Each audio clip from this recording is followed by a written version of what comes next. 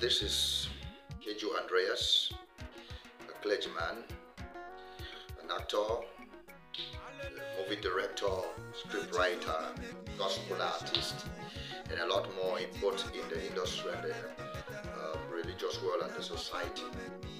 One of the message I want to send to uh, continent is that fighting each other is not the best.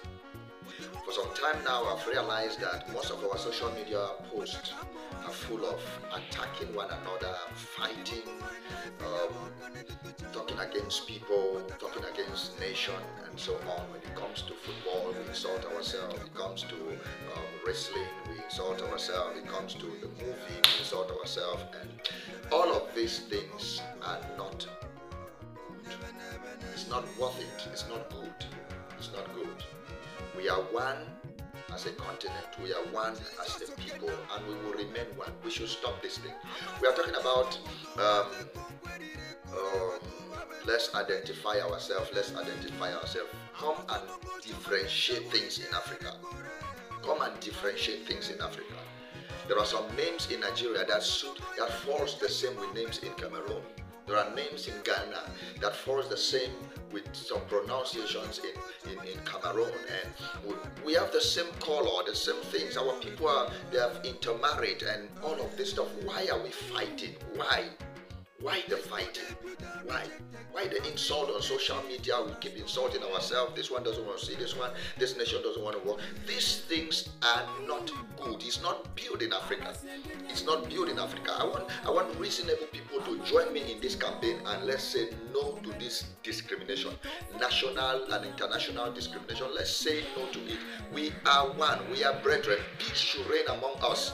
We may have our differences, yes, but it shouldn't take us to the point where we begin to insult each other and don't want to see each other. And all this fight does not want it. We don't want Nigerian artists to come to Cameroon. We don't want Cameroon artists to go to Nigeria. This one should mix like this, this one Ghanaians coming and so it's not necessary. It's not necessary. Africans, arise, let's stop this rubbish. It's not necessary. It's not necessary. I'm doing this video from Nigeria. Yes, as I'm talking, I'm doing this video from Nigeria in my hotel room. I came for a movie project. I am at Enugu and I was well received. I'm being treated very well. So what's the problem?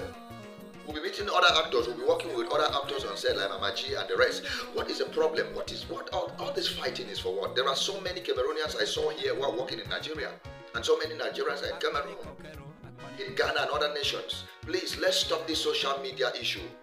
Let's stop it. Even when we are having issues concerning football up and we should not insult ourselves to the level which people are planning to meet one another in the street to fight. No, no, no, no, no. Please, no discrimination.